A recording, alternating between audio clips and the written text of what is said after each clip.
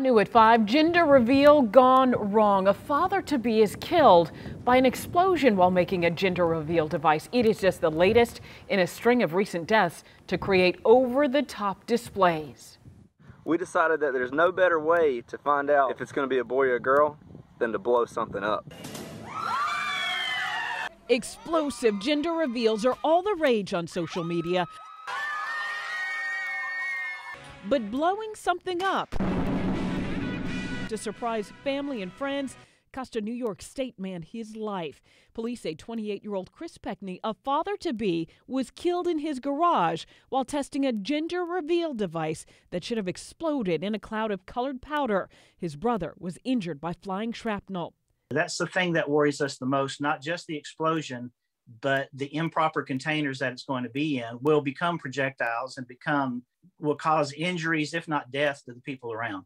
Exactly. Battalion Chief Dennis Moore with the Union City Fire Department tells me they haven't been called to any gender reveals gone wrong lately, but prospective parents should avoid anything explosive.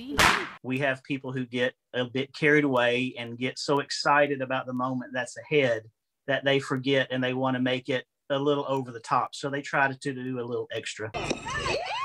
Extra doesn't end well for some gender reveals. This car rigged to spew blue smoke went up in flames in Australia. In 2019, a grandmother to be was killed at a home in rural Iowa when a gender reveal explosive device blew up.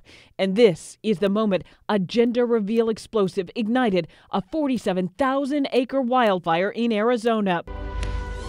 Firefighters recommend taking a tip from Atlanta Brave Freddie Freeman and his wife. They revealed they were having twin boys with this gender reveal of blue smoke and confetti from baseballs.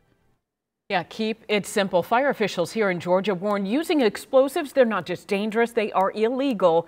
As for the man killed in New York State, police say there was nothing malicious about that device. The explosion was simply a tragic accident. Mm.